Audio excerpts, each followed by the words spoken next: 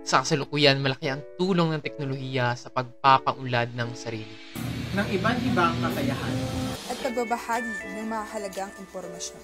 upang maging mas maalam tungkol sa iba't ibang isyong kinakaharap ng lipunan. Ngunit sa kabila nito, ang teknolohiya ay mayroon ding bitbit na banta sa ating privacy online.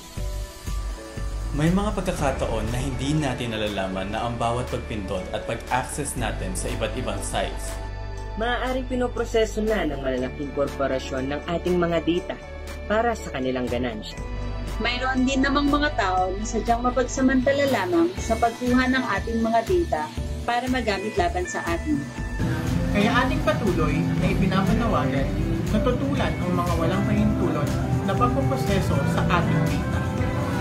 Lalo na sa mismong mga plataforma na ating pinagbibilangan gaya ng iba't ibang social networking sites. Kasama rin sa ating kampanya ang wakasan ang lahat ng forma ng pang-aabuso online.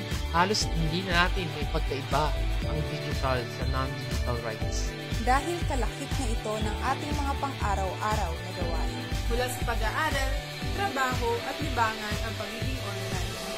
Mas mabuti na ang maging maalam. kung hindi ngayon, kailan? Kung hindi tayo, sino? Tara na! Tara na!